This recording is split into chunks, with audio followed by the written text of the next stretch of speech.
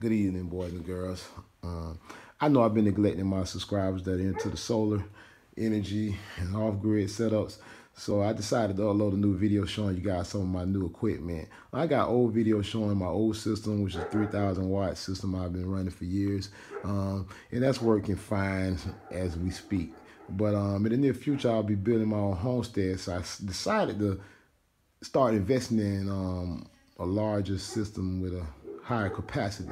Even though I live in sunny Florida and I don't use a lot of power, I'm not an energy hog, anything like that. But when it comes to solar, it's better to be prepared for the days when there are not a lot of sun. So you want to get your battery bank and your uh, your charge capacity at a nice level where you can have some uh, standby power. So here we go. What I've just recently ordered and purchased was a uh, iPanda MPPT solar controller. This particular model is the Master 1. It's capable of handling 12 volts, 24 volts, 36 volts, or 48 volt DC. And it can handle uh, max input voltage from a solar array of 150 volts DC and the rated current, charge current is 80 ounce to 100 ounce. This one will do 100 ounce because uh, it'll be set to a 48 volt battery bank. So yeah, this is uh big boy charge control. It comes with its own um, software you can download on your computer where you got parameters you can set and things you can monitor, even with your smartphone. Uh, it has connections for your computer here. It even comes with a uh, with a few fuses and um, temperature sensor for your battery bank. Um, all kinds of nice stuff. Like I say, this is going to be a much larger system than what I'm running. I mean, this thing, I'll probably have, who knows, um, maybe close to 3,000 watts of, uh, solar, maybe 3,600 watts. As I was looking at some uh, 300 watt monocrystalline panels that I was considering buying about 12 of them. So um, yeah, I was gonna wire this thing up, but you know, this is uh, pretty much overkill for my power needs. Um, yeah, and I just wanted to give you guys a, a quick peek at some of my newest things.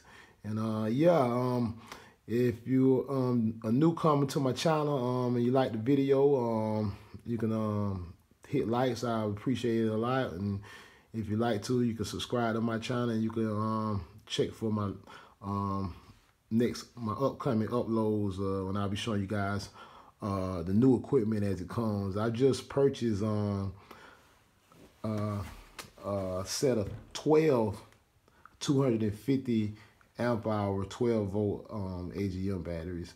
And I was just basically waiting on them to arrive.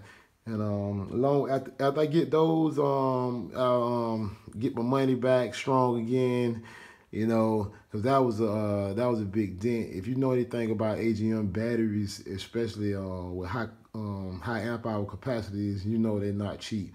So um, yeah, I bought 12 of those. So um, I invested a few grand in that, and the next my next purchase will be um possibly about 12 300 watt monocrystalline panels. Um yeah i've been browsing around checking prices and i haven't made up my mind of what brand i'm gonna go with yet but yeah um once i get the batteries and the panels i'll do another upload and show you guys um um what my new system um, is all about. Uh, yeah, if you like the video, man, I appreciate it if you click like. Uh, if you like my channel, man, I appreciate it even better if you don't subscribe. And um, I have more uploads coming. Hey, just be on the lookout. It's your boy Smokey. Man, y'all have a good night and uh, blessed new year.